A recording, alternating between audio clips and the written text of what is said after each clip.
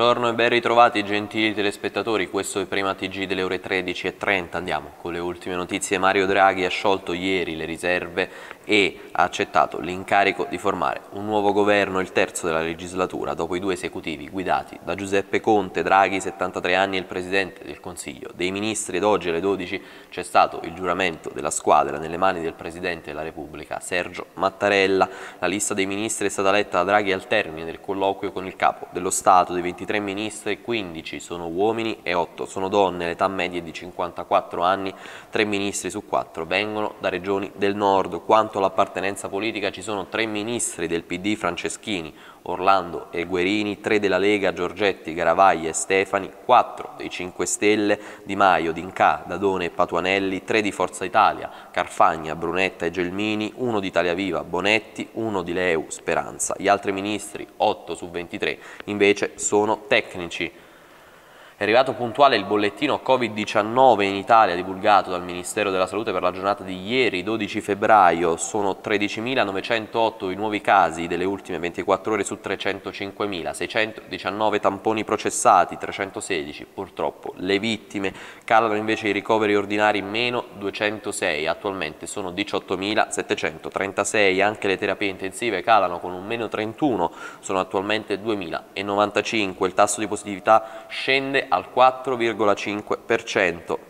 È arrivato puntuale anche il punto settimanale sui dati dalla cabina di regia. Andiamo ad ascoltare le parole di Gianni Rezza, direttore generale della prevenzione presso il Ministero della Salute. I casi di Covid-19 nel nostro Paese rimangono stazionari rispetto alla scorsa settimana, ma l'incidenza rimane elevata, intorno a 270 casi per 100.000, mentre cresce di poco l'RT che si fissa a 0,95. Per quanto riguarda eh, l'occupazione dei posti di terapia intensiva siamo intorno al 24%, quindi un po' al di sotto di quella che viene considerata essere la soglia critica. Anche a causa della diffusione delle nuove varianti, la cui prevalenza nel nostro Paese è di circa il 18%, è bene mantenere comportamenti prudenti e il divieto di mobilità da una regione all'altra.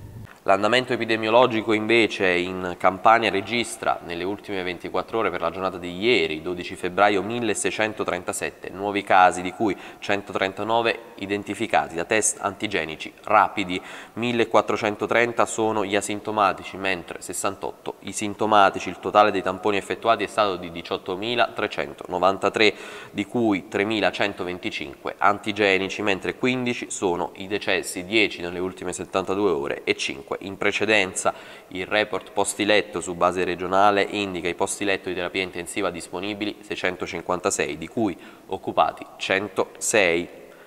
Il Presidente della Regione Campania Vincenzo De Luca ha fatto il punto sulla situazione contagi nelle scuole. Andiamo ad ascoltare le sue parole.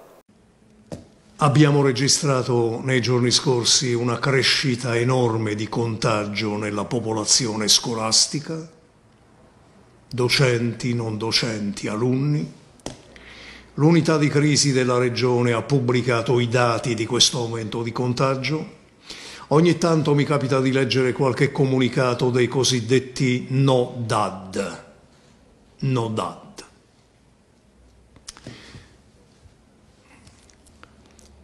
Uno degli argomenti, anzi l'unico argomento è questo, siccome stiamo in zona gialla e siccome si aprono le attività economiche non si capisce perché non si devono aprire anche le scuole, ribadiamo con molta semplicità che le scuole quando non si riaprono, non si riaprono per motivi semplici, non solo perché c'è una diffusione crescente dei contagi, non solo perché si cerca di prevenire l'esplosione del contagio. Perché se dobbiamo aspettare prima che siano contagiati anche i ragazzi? È semplice.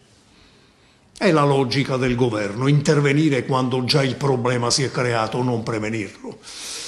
Ma poi si fa fatica a capire che le scuole hanno una caratteristica specifica, come le hanno i teatri, i cinema, cioè si cerca di evitare gli assembramenti in luoghi chiusi dove rimangono per ore ed ore le persone che sono concentrate nei luoghi chiusi.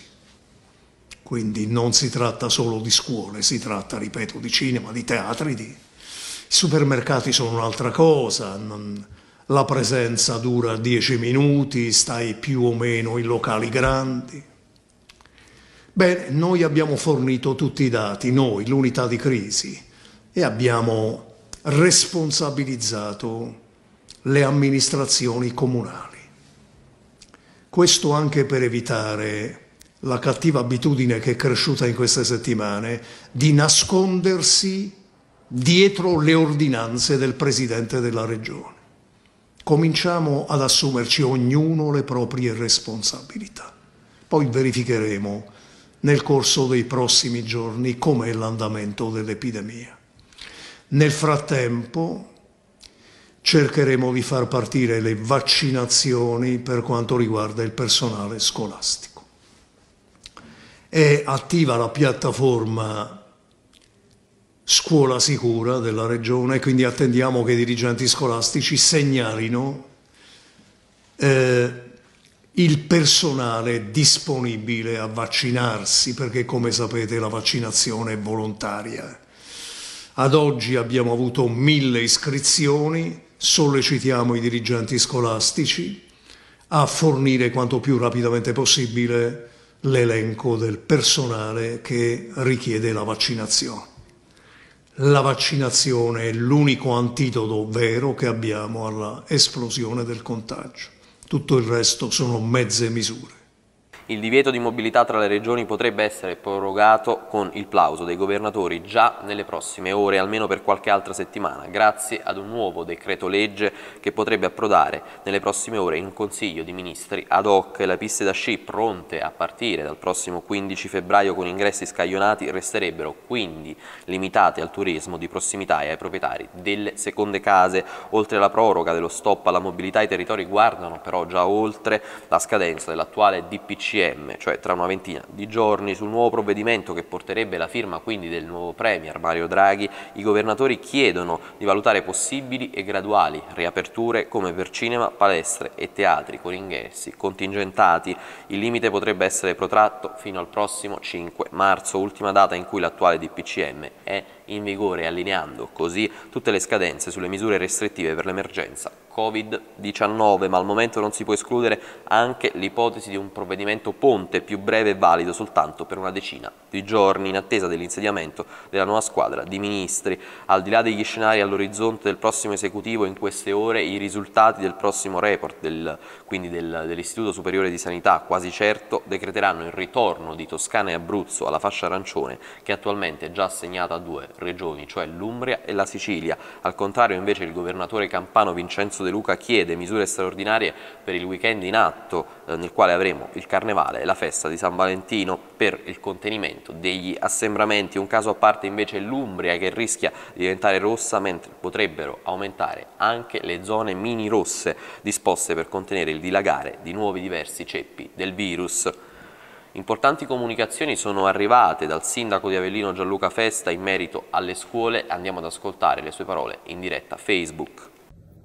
Ho appena firmato l'ordinanza con la quale ho disposto per domani la chiusura di tutte le scuole cittadine. Stamattina eh, ci è pervenuta una comunicazione relativa all'allerta meteo per domani quindi ho reputato necessario provvedere alla chiusura di tutti gli istituti scolastici eh, cittadini per evitare rischi per i nostri eh, ragazzi. Colgo l'occasione anche per eh, preannunciarvi la proroga della mia ordinanza relativa alle scuole eh, superiori, quindi per almeno un'altra settimana si continuerà con la DAD, ma c'è anche una buona notizia, partirà a breve lo screening per i docenti e per il personale ATA e allo stesso tempo il comune è disponibile ad effettuare anche i tamponi eh, rapidi agli alunni delle scuole superiori, come ho sempre detto, le lezioni riprenderanno in presenza solo quando avrò eh, la garanzia che non ci sono rischi per i nostri ragazzi. Il nuovo aggiornamento della curva pandemica sul territorio di Caserta con il bollettino del 12 febbraio a cura dell'ASL locale recita 183 nuove persone positive a cui si aggiungono 181 guariti e per fortuna nessun deceduto. I tamponi processati sono stati 1836 per un tasso di incidenza che sale leggermente arrivando al 9,9%. Maddaloni torna in cima per numero di contagi con 226, Caserta scende fino a 214, alle spalle c'è il Marcianise con 164 attualmente positivi.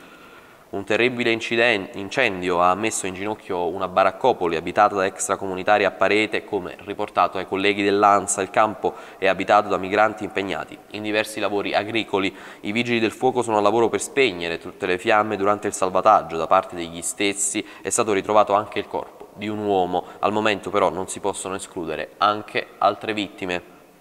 Passiamo invece alla pagina sportiva perché il Napoli oggi alle ore 18 allo stadio Diego Armando Maradona affronta la Juventus, il Napoli per la riscossa, la Juventus per continuare la risalita in classifica.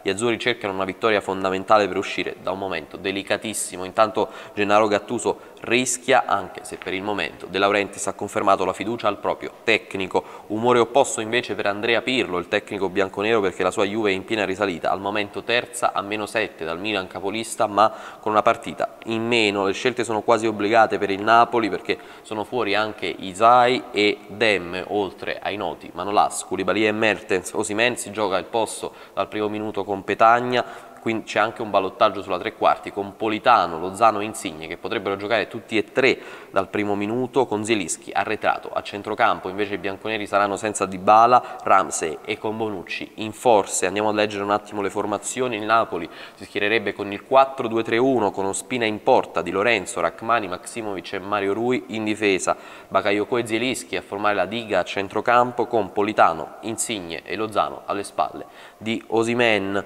mentre la Juventus Juventus con il solito 4-4-2 con Scesni in porta, Quadrado, Delict, Chiellini e Danilo in difesa, quindi Alexandro fuori, Bernardeschi e Chiesa esterni di centrocampo con Bentancur e Rabiot in mezzo. Ricordiamo che Arthur non ci sarà davanti la coppia formata da Cristiano Ronaldo e Alvaro Morata. Chiudiamo sempre con il calcio, però parliamo di Benevento 1-1 nel primo anticipo della ventiduesima di Serie A dall'Ara di Bologna quindi i Felsini insieme al Benevento si sono divisi la posta in palio, i Felsini che hanno sbloccato subito il match dopo appena 50 secondi con Sansone imbeccato bene da una gran giocata di Barrow, la squadra di Mialovic ha giocato un ottimo primo tempo e ha sfiorato più volte il raddoppio, la reazione dei Sanniti è arrivata solo nella ripresa che ha fruttato il pareggio al minuto 60 grazie ad un tacco di Nicolas Viola che ha sfruttato un'uscita al vuoto del portiere eh, polacco Skorupski, i ragazzi di Inzaghi ci hanno anche provato nel finale ma ma il risultato ha retto. Un buon punto per entrambe in ottica salvezza al termine di una partita comunque molto equilibrata. Filippo Inzaghi, tecnico del Benevento, ha parlato del pareggio a fine partita. Abbiamo avuto una buona reazione, ma dobbiamo migliorare alcune situazioni, soprattutto nella lettura, come ad esempio prendere gol dopo pochi secondi a difesa schierata. Il presidente è venuto negli spogliatoi ed ha usato belle parole per i ragazzi. Dobbiamo credere nella salvezza. Abbiamo provato a vincere oggi in tutti i modi, anche con i cambi offensivi. Alla fine il pareggio non è un risultato cattivo e ci sta per l'andamento della partita. Per questa edizione di Prima TG è tutto, appuntamento tra qualche ora sempre sui nostri canali, un caloroso arrivederci.